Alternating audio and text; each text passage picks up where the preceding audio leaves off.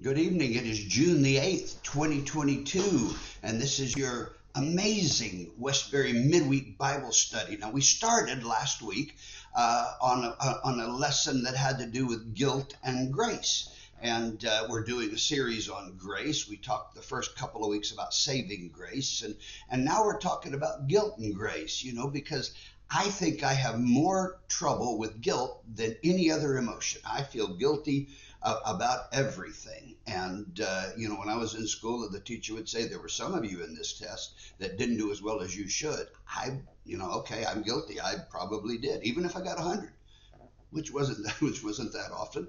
Uh, and so last week, here's where we concluded that uh, that we had some tests to find out whether uh, guilt was of God or guilt was of the devil. Um, and, uh, and we finished up with on the third test is the focus on rules or relationships. Um, it, you know, when, when we struggle with genuine guilt, the, the question that runs through our mind is, did I hurt somebody? Um, when we study with, or when we struggle with false guilt, uh, the overwhelming feeling is, you know what, I broke the rules. I, am not worthy. And, uh, and so, how, what are we going to do about it? How do we handle guilt? That's number two on your outline, uh, if you want to follow along. How do you handle guilt? Because what do we do when the dashboard light goes on in our life? You're driving down the road and your dashboard light comes on, and some people just ignore it, and some people panic. I, I have not seen a vehicle in Mexico that didn't have the check engine light on it and uh, on, and uh, and so they, your check engine light's on not going to worry about it. And, and, so, and so, what do we do when the warning light comes on? Well, let me give you three common ways we have of dealing with guilt. And I want you to know that these three ways go all the way back to the Garden of Eden. Okay, so we're not talking about something light. We're talking or, or, or, new. We're talking about something that's as old as time itself. Look at Genesis chapter three, verses seven through twelve. It says they sewed fig leaves together and made coverings for themselves. They hid from the Lord God and when challenged by God, Adam said, I was afraid because I was naked, so I hid.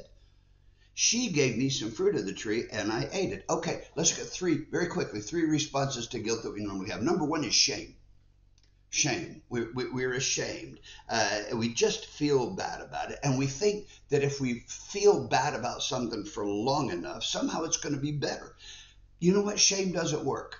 Uh, Adam and Eve sewed fig leaves together to cover their shame. Were they still ashamed? Yeah. Why? It didn't work. Second response, response number two is we hide. They hide. They hid in the bushes from God. Okay, now God's all those omni words, right? Omniscient, omnipotent. Do you think God could see them hiding in the good in the bushes? Of course, He could see them hiding in, in the bushes. Kind of like kind of like putting tape over your dashboard over the light that's on, okay? You may not be able to see it, but it's still there. Third response is blame. So shame, hiding, and blame. Blame has not lost popularity over the years. In fact, blame is just getting more and more popular. You, you know, you, what you have here is you have Adam trying to avoid the blame, and Eve trying to avoid the blame, and the snake trying to avoid the blame. And God comes up to find out what happened and says, Adam, did you eat from that tree? And Adam took it like a man. That's right, he blamed his wife. And, and, and, I mean, he didn't waste any time pointing the finger. She gave it to me, it was her fault. So what's Eve going to do? Well, Eve decides, well, if he's got pointing the finger at me, I'm going to point the finger at the at the serpent, and I'm going to look at the serpent and I'm going to say it's the serpent's fault. The serpent did it. So you have Adam blaming Eve, and Eve blaming the snake, and the snake, bless his heart, didn't have a leg to stand on, did he? I'm sorry, that was too good to resist.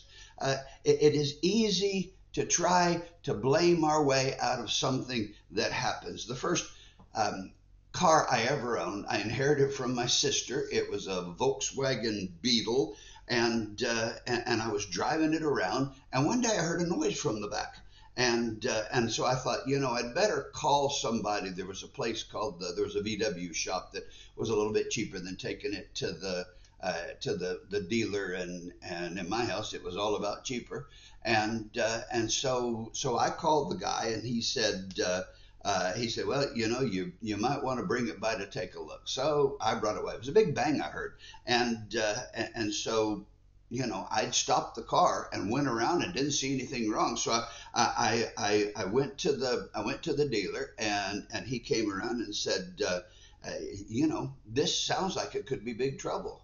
Um, this was after I'd called him. I had a payphone. They didn't have cell phones back then. I had a payphone. Called him, and uh, and uh, and so so he said you should bring it by here. And all right, I'll bring it by there. As I was driving, I remembered, you know, just a little bit further down the road, there was a guy who didn't specialize in Volkswagens, but he specialized, he was a car mechanic, and he was a lot cheaper. In fact, he went to church uh, with us. And my father had baptized him, and so he was a lot cheaper. And uh, and so I'm gonna I, I, am going to to go a, an extra five miles and go to that place.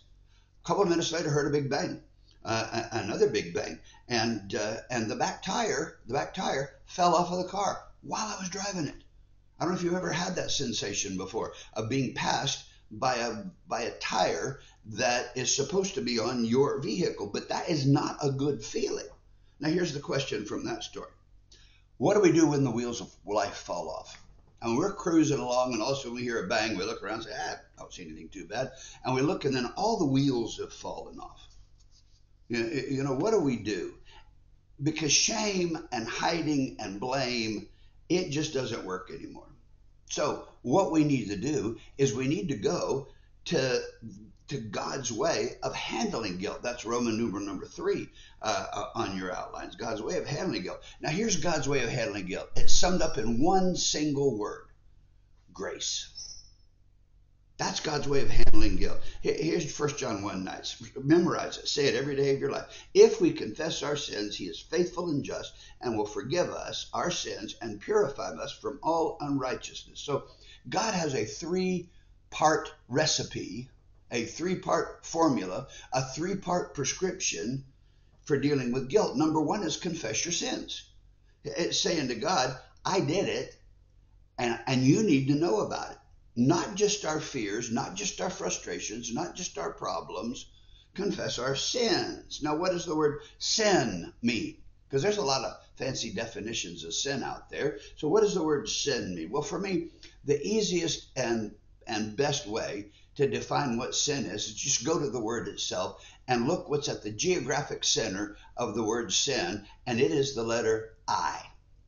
See, sin is when we get all wrapped up in ourselves. It's saying, Excuse me, God, I know what you want, but I believe I'm going to go ahead and live life the way I want to live it, not the way you want to live it. So, uh, and so you, we'll just go with it from there. That's kind of like me looking at my car and saying, you know what, looks okay to me, so I'm going to keep on driving. And you can come to church absolutely every time the doors open, or you can never grace the doors of a church building and still have the I problem in the middle of our lives and leave God out.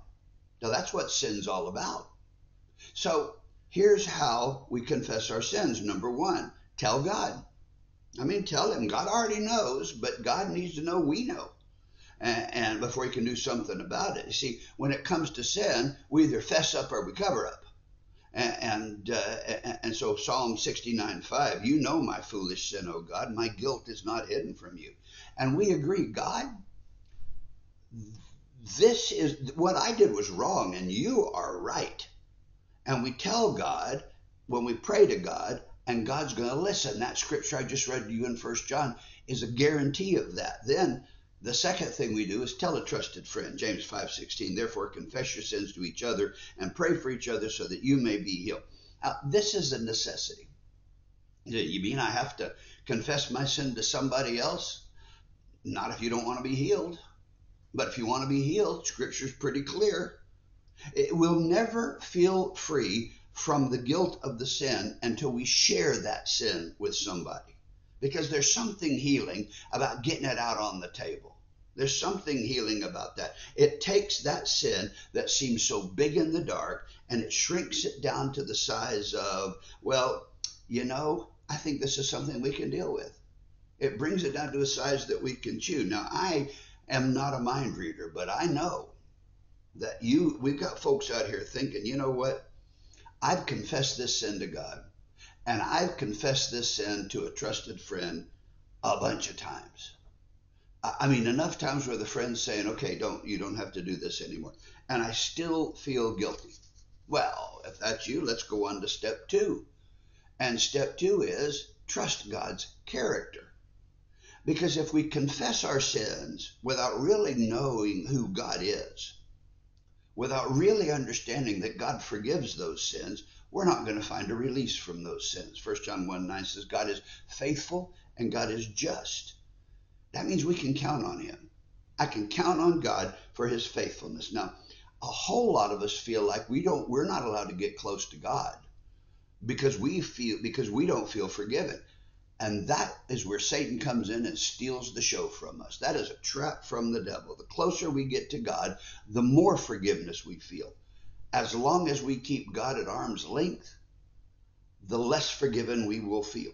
Hebrews 10:22. Let us draw near to God with a sincere heart in full assurance of faith, having our hearts sprinkled to cleanse us from a guilty conscience, and having our bodies washed with pure water. The cross of Christ frees us from a guilty conscience.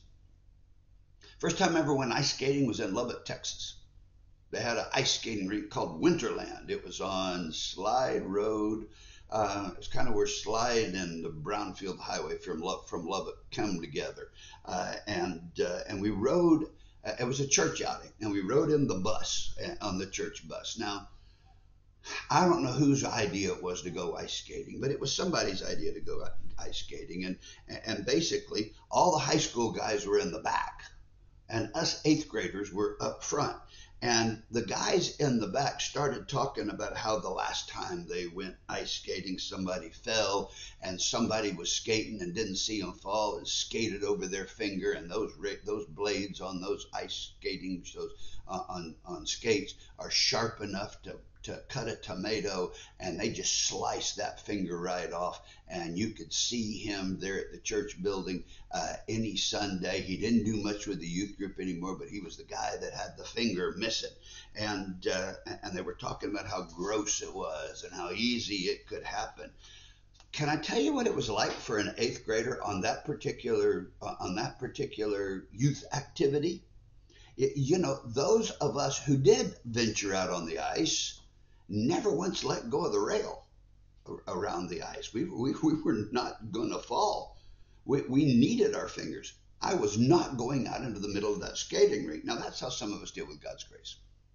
So some of us deal with God's grace that with the idea that we know God's forgiven us, and, and uh, but we're afraid to let go of the rail around the edges of life. That's called legalism. You know, we know God forgives us, but it's kind of I'm not going out there, you know, because it's dangerous. I know it's risky, and, and so we hold on to those rules like that's the way to enjoy God, and a full knowledge of the rules doesn't help us enjoy anything. I challenge you get out into the middle of the rink and enjoy the grace of God. You will not lose a finger. I promise you that. You're thinking, what if I fall? You're going to fall. I mean, you're going to fall. Folks that have been skating their whole lives, they still fall down. None of us are perfect. And God will pick you up and give you new strength. And the next time you strap the skates on, you'll skate a little bit further than you did. And, and, and because if we think that uh, that that uh, that God wants us to hang on a rail the whole time we're out there, then and, and then the, the, the cloud of guilt is never going to let go of us. God's grace is the only thing that lets us be all that God knows we can be. So get out in the middle. Skate on out there. I, have decided that I need I need a different hobby. Uh, I'm I, I, I read now for a hobby, and I love reading. Copious amounts of books.